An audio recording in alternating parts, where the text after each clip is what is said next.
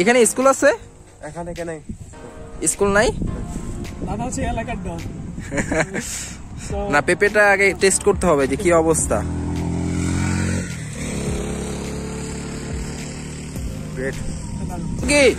Yes নাম কি ভাই? অমদম ও আচ্ছা আপনার কি হয়? আমার ভুল হয়। বোন? ও নাইস না আমার এটা খুশি হয়ে দিল।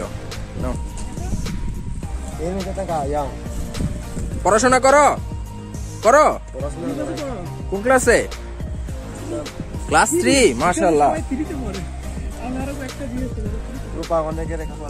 এখানে স্কুল আছে? স্কুল নাই? তা পড়াশোনা কীভাবে করে? দিনাজপুর ওখান থেকে করে ও।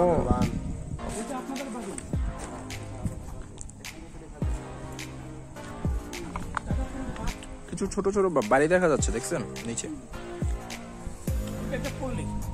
আপনি কি ভাইয়া প্রতিদিন উঠেন নামেন এখানে? ও। সকালে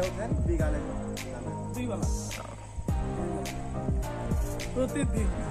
আর আমরা ট্রেকিং করে পরের দিন আর বাসায় ফিরি।